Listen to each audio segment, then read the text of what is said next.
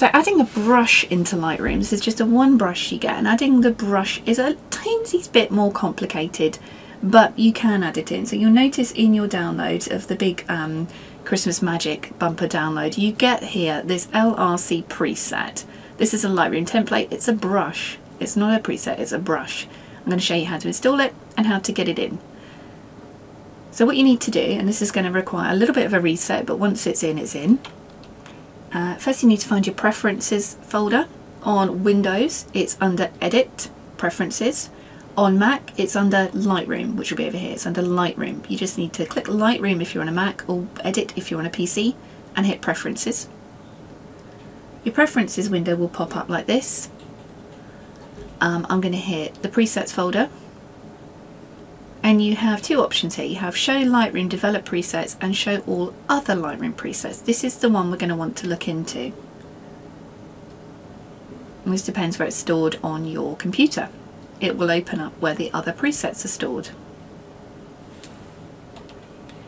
So you'll see Lightroom is selected. If not, you need to just scroll down and hit Lightroom, not necessarily Lightroom CC Helper anything like that, just Lightroom. Open this one up and you'll see that you have um, not developed presets, they're the, the Christmas presets we've added in. Here where it says local adjustment presets, because the brush is making an adjustment to a local area of your image. You see I've got a lot of LSP in here because I've made a lot of brushes. What you're going to want to do is grab your LSP Christmas Glow brush, you can drag and drop or you can copy and paste, and add it into this folder. And you'll see there it is, the LSP Christmas Glow brush. You can go ahead and close these folders now. Now to get this to show, what you're going to need to do is actually close Lightroom down and reopen it again because the brushes won't show until you've reset. The, the presets will, brushes won't. I said Lightroom is a little bit complicated sometimes. So we're opening back up again and now in theory the, the glow brush should be installed. So on your develop panel and you hit here, this is masking on ACR, go away, on ACR you will have uh, the same icon but it'll be down on a side panel, on a vertical panel rather than horizontal panel. So we're going to click this and what that's going to do, let's just open up the masking, make this little box here. You see there's already a couple of masks that we applied from the magic section. Hover over a mask, this was the um, subject pop and this mask here was the, um, the skin.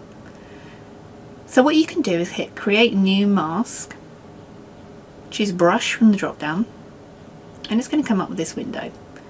It's a no mask selected preset custom so if you click this you should be able to find the LSP Christmas glow brush in your list. It should start with a little star, it might start with a dash so we're going to select that one. Now up here in the brush menu you have a size that you can change, see there it's getting bigger and smaller feather is how soft it is around the outside so if you want to add kind of a harder glow that looks more like a bokeh then you might want the feather look down. If you want to add a glow to candle flames um, to an area to a fireplace to a lantern you're going to want that nice and feathered. The flow is how strong the brush comes out so I'm going to take that down a little bit. Density I'm going to leave at 100 for this one. You can also use the square bracket keys to make the brush smaller or larger see there so let's use this to add a little bit of glow. So I'm just going to click on the candle and click. You see that's added a glow in. If it's a little strong, you can take the density down. And again here. And here. It really depends on your image. So you see I'm just clicking. You can also, if, you, if you're using mouse with one of the little wheels in the middle, you can scroll up and down to make your brush bigger and smaller. I'm just adding a glow to these candles. It's all on the same mask. So now we've lit the candles. I can just click the brush to get off. And you can see there, we've added the glow. If you want to add another brush on a new mask, you can simply click on here, the plus again, create new mask, brush, select glow brush from the drop down if it's not already selected. And let's try and use this brush just to create a nice glow coming in. So I'm making it nice and big. I'm going to take the density and the flow all the way down so it's nice and gentle and I'm just going to click this around here and you can see we're just adding a very soft glow. So this brush is great fun. If you use Photoshop um, you can do these things a little bit more tailored in Photoshop So if you use Photoshop you, in the LSP actions you get with this set the Christmas Magic actions, you do actually have a glow brush in there. Um, you can watch the tutorial for that. But if you only operate in Lightroom, this is a great way to add that Christmas magic. So I'm just going to clip off the brush again now. Just straighten this image a little bit and crop. And there we go. I'm going to show you where we were before and after. So I'm going to create a virtual copy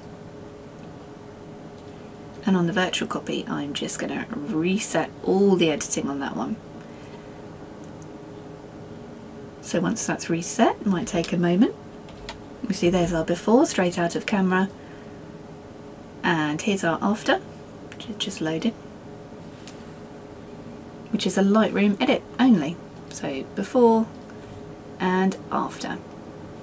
And this, oh, oh, oh, come on Lightroom, you can do it. Here we go, it's our after image and this is using the LSP Mini Magic Lightroom and ACR presets.